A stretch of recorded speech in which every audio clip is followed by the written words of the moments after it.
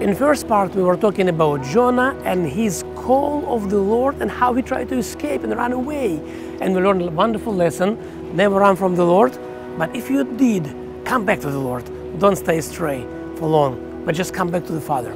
Now, Jonah coming to Nineveh, and let's talk about Nineveh, about this great city, and why Jonah didn't want to go to Nineveh. There is a reason why. Nineveh was a big, actually a huge city. It was really advanced and it had a population of about 600,000 people. And we know that God didn't want to destroy it. Well, for ancient days, it was a massive city, very, very big city, extremely big city. And God didn't want to destroy it. But why Jonah didn't want to go to Nineveh? Interesting. Nineveh was full of Gentiles and it was strong city.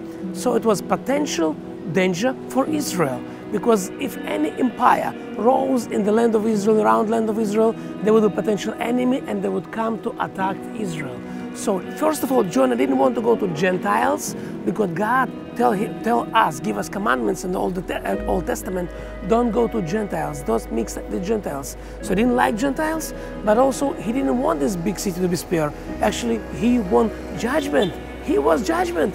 And there, right there is wonderful lesson, but let's see how God gave him these important lessons. Jonah the prophet took his time. He was walking in the city proclaiming judgment. Judgment is coming. God is going to judge your city for your sins. You sinners, that's your end. You will see judgment of the Lord. And Jonah continued to proclaim the judgment of God again and again and again. And then he went out to see judgment. He really, literally, he went out of the city. He was sitting on the hill and watching and waiting. Lord, I want to see how the fire will come from heaven, how the destructions will come from heaven. And he was sitting there. But something happened in the city. Today, we would call it revival.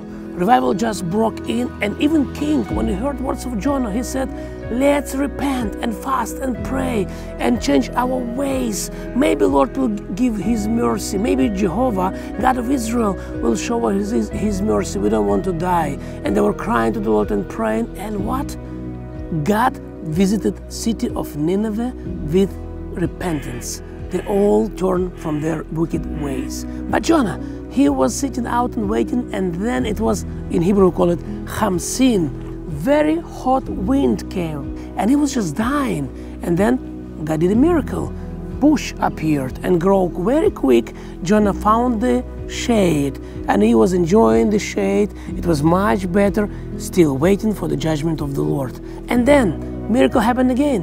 The bush have died and Jonah was dying from the heat of the day. And he was crying to the Lord. He was he wanted to die. He basically wanted to die. And then God spoke to Jonah.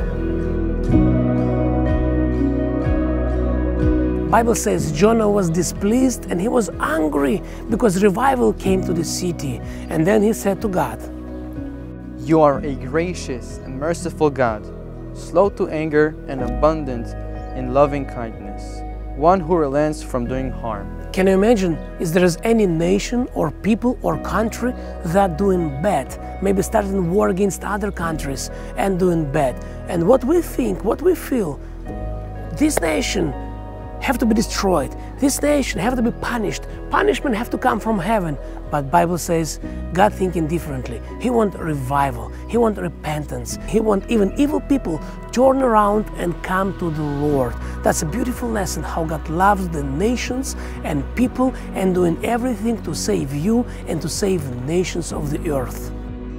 Okay, Guy, what did you learn from Jonah's lessons? I have learned three things. The first one is not to run away from God's calling. The second one is that we don't need to wait for too long until we turn to God.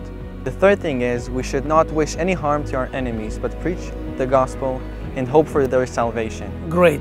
Jonah's story teaches us about merciful and loving God. Next episode, we're going to study biblical hero from the New Testament and let's see what God's going to teach us. Shalom from Jaffa.